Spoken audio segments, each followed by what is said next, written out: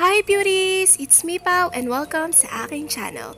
For today's video, simplihan lang natin. As you can see from the title, magpipichi makeup tutorial tayo.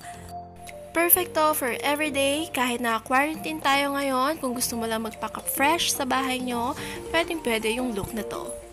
Bago ang lahat, mag-subscribe ka muna sa channel ko. Dali-dali, mag-subscribe ka na. Thank you! So without further ado, mag-start na tayo sa video.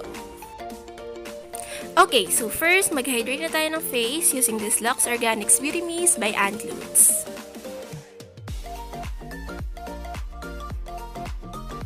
Sa base, gagamitin natin ng Wet n Wild Stick Foundation in the shade Vanilla Beige. Sobrang ganda ng finish ng foundation na to. Perfect na perfect for everyday. Ito yung foundation na yung kung gusto mo, naka-foundation ka pero nakakahinga pa rin yung skin mo. Perfect na perfect to.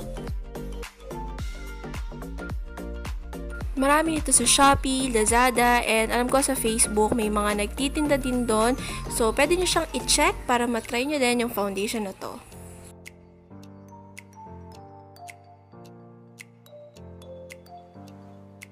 Ilalagay na rin natin siya as concealer. Ilalagay natin siya sa under eye, sa chin, and sa forehead.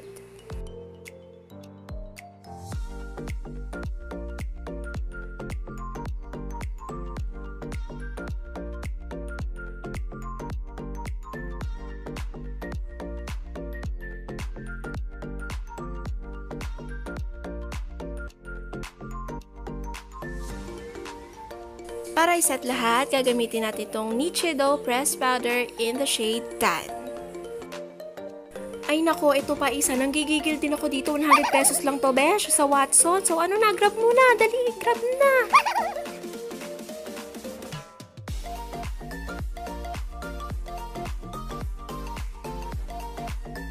Sa kilay, gagamit tayo ng eyebrow stamp from Kiss New York. Kahit anong eyebrow stamp, eyebrow powder na meron kayo, pwedeng pwede na yon. Ito yung ginagamit ko kapag gusto ko ng plakadong kilay pero natural pa rin tingnan. Kasi unlike sa pencil talaga at sa pomade na talagang pakak na pakak yung kilay mo besh. Pero dito kasi sa powder may pagka soft touch pa din siya. So ayun yung gusto ko pagdating sa powder. Ito optional to ha, pero dahil nga eyebrow uh, powder yung ginamit natin sa kilay natin, kailangan natin siyang iset. Okay, kasi kapag hindi, mabubura siya agad. So, kailangan natin gumamit ng brow gel para iset ang ating eyebrows.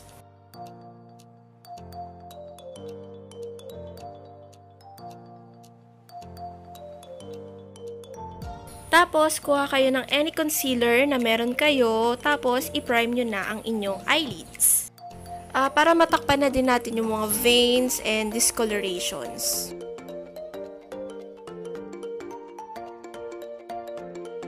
Tapos, kuha lang kayo ng ma-peach na color mula sa eyeshadow palette na meron kayo. And, ayun, ilagay nyo na sa eyelids nyo.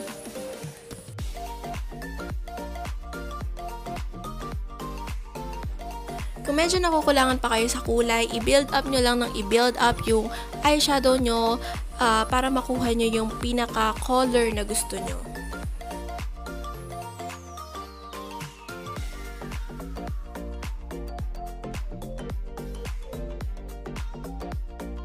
Tapos, kuha na tayo ng peach na shimmer at ilagay natin sa may inner corner hanggang sa gitna para magkaroon naman ng konting dimensyon ng ating eyeshadow.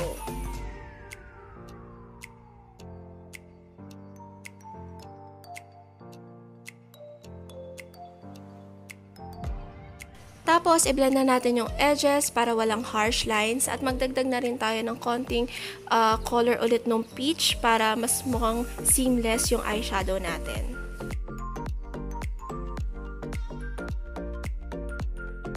I-curl na natin ang ating lashes at ihanda na natin siya for the next step.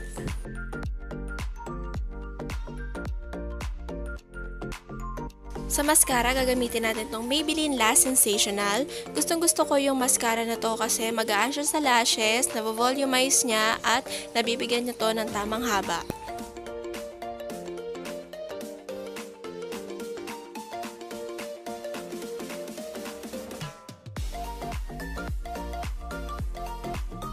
Sa contour, gamitin ulit natin tong Wet n Wild contour palette at lagyan natin ng dimensyon yung face natin.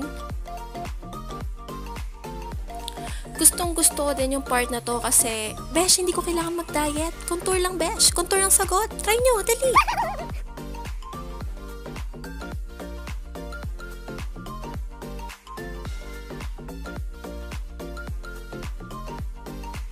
Sa blush on, gagamitin natin yung peach na eyeshadow na ginamit natin kanina at ayon yung ilalagay natin sa cheeks.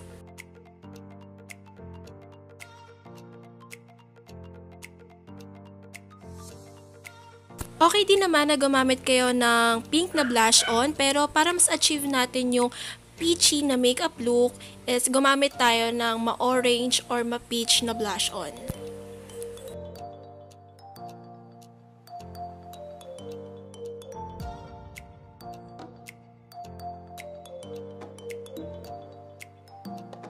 Sa highlight, kumuha lang tayo sa eyeshadow palette natin na champagne na shimmer at ayon yung ilagay natin sa high points ng ating face.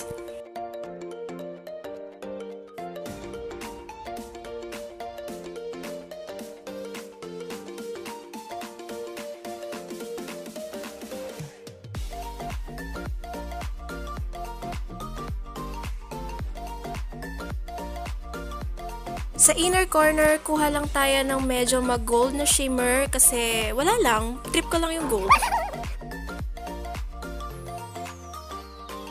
Sa lips, naks may pa ganun.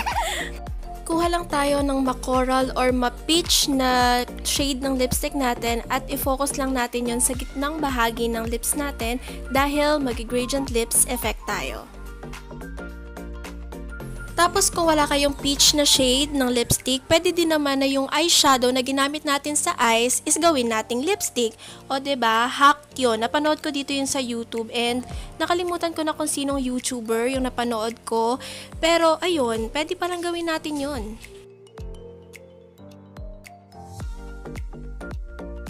O ba diba, achieve na achieve ang gradient lips effect.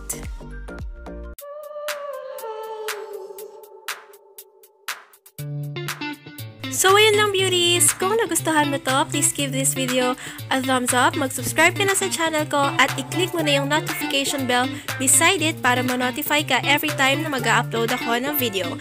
So, yun lang beauties. Thank you so much for watching and I'll see you on my next one. Abay ka na! Bye!